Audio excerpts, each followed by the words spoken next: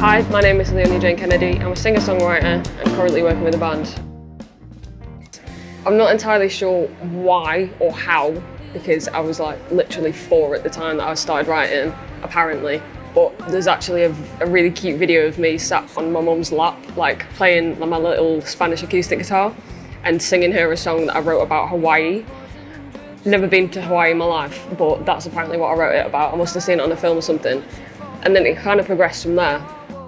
And then when I was, I think I was probably 12 maybe, I ended up doing this charity event, which was kind of for my mum, because she has a lot of health problems and that.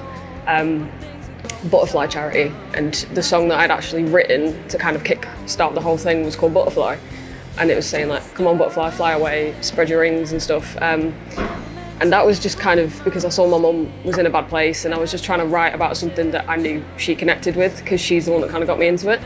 And then over the years, um, obviously, the more you practice, the more you get better. Um, and my songwriting just developed into what I am today.